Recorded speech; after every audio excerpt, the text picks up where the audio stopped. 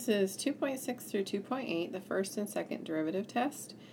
So basically there are two tests that we can use to find if a function has any local extrema, in other words a local max or a local min. And it just follows with what we were doing before where we would find the derivative, set it equal to 0, and solve. So that's finding our critical points. And we're going to need to use those steps for both the first and the derivative, both the first and second derivative tests.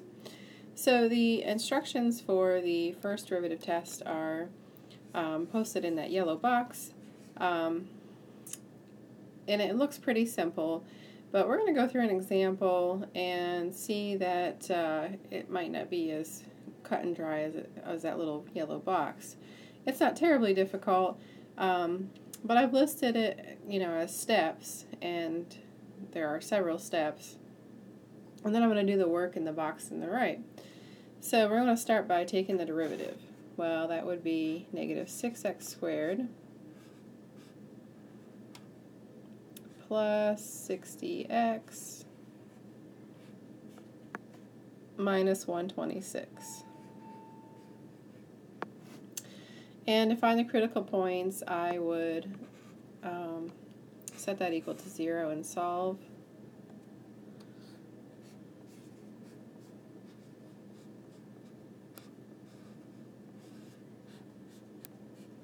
And it's a quadratic equation, so you can use your quadratic formula in the calculator. And we get x equals 3 and x equals 7. So those are our critical points. We're going to make a number line, and we're going to plot those two critical points. So 3 and 7. And then it, we can see that the interval is divided into three pieces now because there's two critical points. So we need to pick a test point before the 3, between the 3 and the 7, and after the 7. So let's say we pick 0, 4, and 8. And if we plug, um, this you'll probably want to use your graphing calculator for, but what you want to do is scoot this up a little bit. Find f prime of 0, f prime of 4, and f prime of 8. So if you put the function in the in your y1, like you're going to graph it, then you can go to table and you can put the values 0, 4, and 8 in, and the calculator will get those for you quickly. So I get that we get a negative 126 for f of prime of 0, and f prime of 4 is 18, and f prime of 8 is negative 30. Since it's a negative number that we get for that one, that tells me that the function's decreasing on that interval. So from negative infinity to 3, we're decreasing. Since the f prime of 4 is positive, we know we're increasing on that interval. So from 3 to 7, we're increasing. And f prime of 8 is negative 30. Uh, again, we're going to be decreasing. So from 7 to positive infinity, we're decreasing. So now if you go back to that yellow box, um, it might make more sense.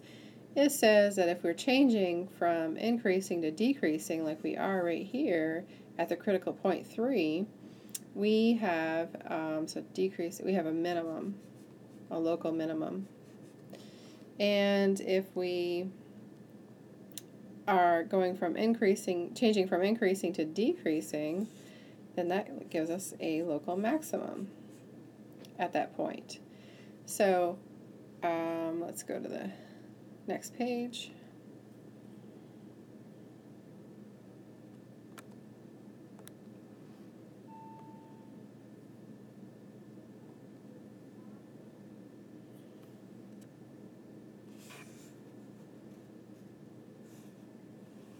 All right, so um, again, we get that f prime of 0 is negative 126.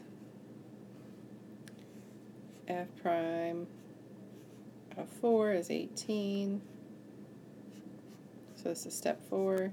And f prime of 8 is negative 30. So from my picture on the previous page there, um, we're going to get that the um, intervals in which it's increasing or decreasing, well, it's going to be increasing um, on that interval between 3 and 7. So increasing 3 to 7.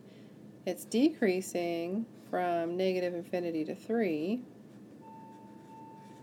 And, so union, 7 to infinity.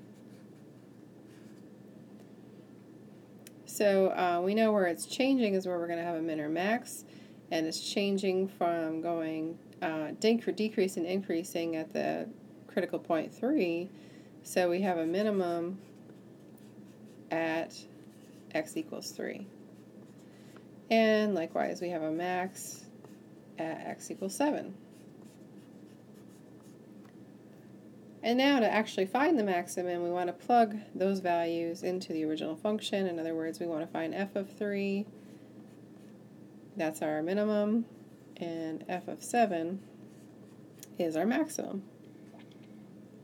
So I get negative 153 and negative 89.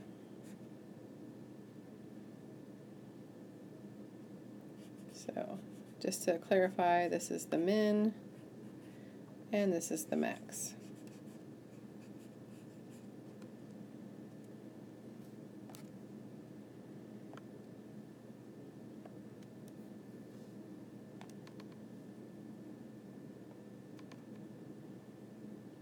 Now for the second derivative test. So the second derivative test um, probably will seem a little easier than the first derivative test. And it may or may not be depending on the function that you're given.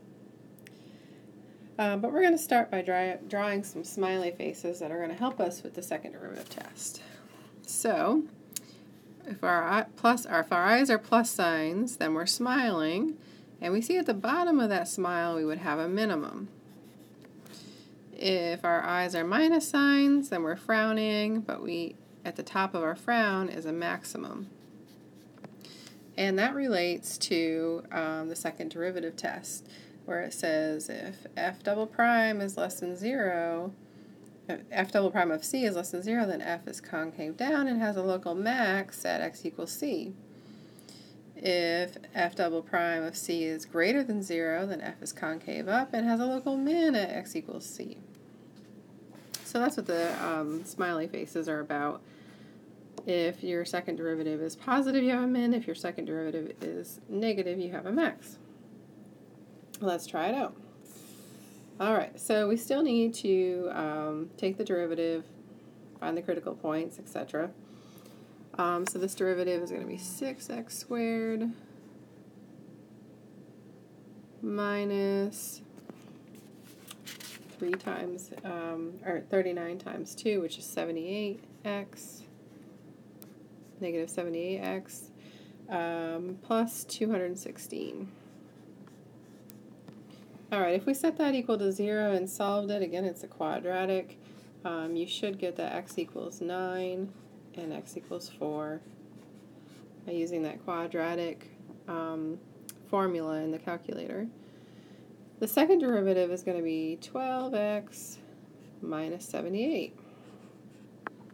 So if we plug 9 into the second derivative, so f double prime of 9, we get 12 times 9 minus 78.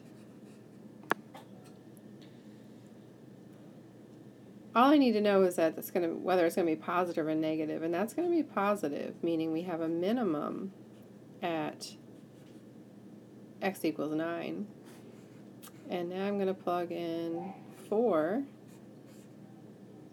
So 12 times 4, which is 48, minus 78. Uh, we know that's going to be negative, so we have a max. Um, at x equals 4. Um, now, the one step that I neglected to put in here, um, but we do need to do it, is the same last step as the first derivative test. We now need to put 9 into the original function and 4 into the original function to get what the actual min and max are. f of 9 happens to be 247, and that's our min.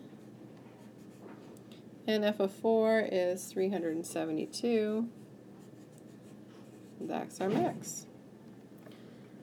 Um, you can also put it in, um, well, you have to pay attention to how question is worded, but typically it's okay to put it in um, an ordered pair form. So 9, 247 gives you the where and the what the min are, and 4, 372 gives you the when, where and the what the max are, the maxes.